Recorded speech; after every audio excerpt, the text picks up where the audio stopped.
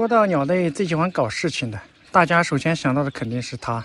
这货的名声确实一向不怎么样，但是最喜欢搞事情的还得数松鸦开饭，因为它总是喜欢悄悄地跟在别人后面，时不时的就恶搞别人一下。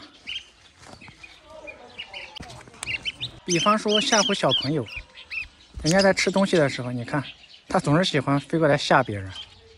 它也不是欺负他们。因为我从来没有看到它像蓝雀一样啄那些比它小的鸟，有没有觉得它很淘气？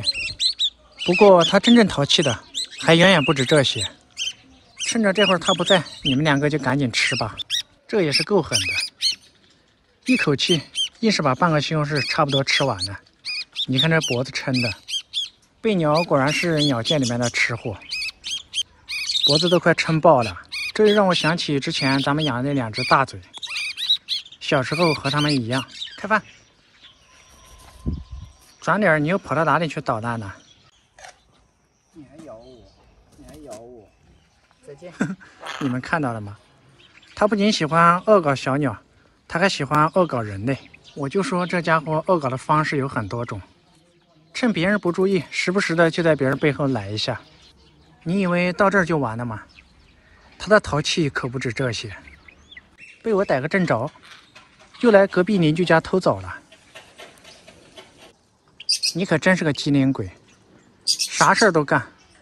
有时候我都怀疑你是不是一只鸟。吃水果剥皮，比我们人类吃的还要细致。一颗枣，它只吃里面的核，皮全部给它剥的丢了。你就说这家伙智商有多高？这是剥好了准备给我吃吗？来来来，哎呦！我以为是剥好了给我吃的，原来是过来在我面前炫耀。